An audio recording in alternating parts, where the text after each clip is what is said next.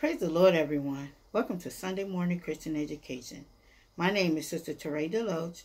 I attend Greater Bethlehem Temple Apostolic Church, located on 4781 Hamilton Avenue in Cincinnati, Ohio, where Bishop James Chapman is the pastor.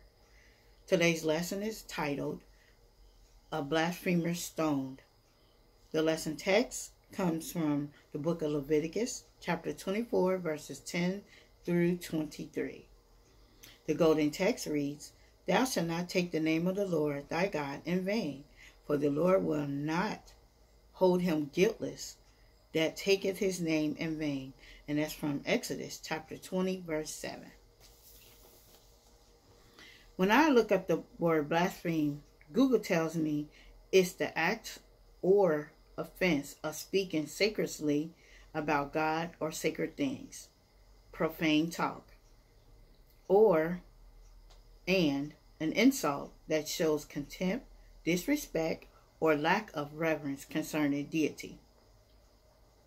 The lesson tells us that blaspheme is to insult and show irreverence to God. You know, God is a God of order. He's not going to take care of. He's not going to take any of that.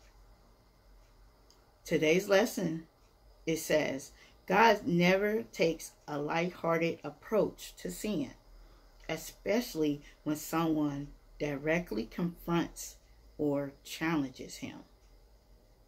God established the Mosaic law with the people of Israel in order to prevent the Israelites from following the paths of their former captors and neighbors. The Mosaic Law was an outstanding tool for keeping order within the congregation of Israel, and it was a fair and just system. God has established certain modes of behavior for his people, and it was necessary for the congregation to see that it was for their own good, not meant to limit their freedom, but to keep them focused on God's best for them. Again, I say, God is a God of order. So, in our lesson today, there was a mixed man who has an Egyptian father and an Israelite mother. He had a dispute with an Israelite, and it was it wasn't stated what the dispute was about, but it was be believed to have some kind of some kind of insult to God because he was charged with blasphemy. He didn't worship the Lord the way he should have. Perhaps he was still loyal to the country's religion. When the blasphemy took place, the congregation heard or witnessed what happened. The man was taken to Moses because he was the leader. Therefore, he acted as the judge.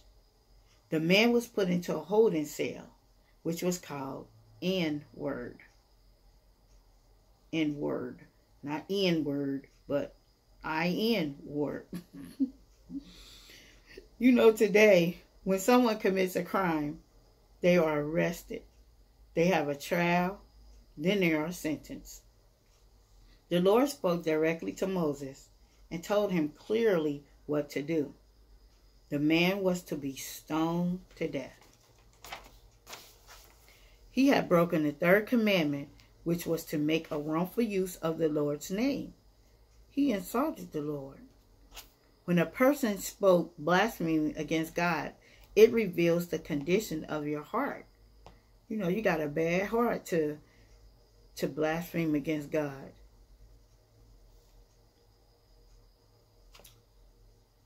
The entire congregation carried out the death sentence, which was the people who was in close proximity of the incident. I mentioned in the last lesson this scripture in Romans 6 and 23. The wages of sin is death, but the gift of God is eternal life through Jesus Christ our Lord.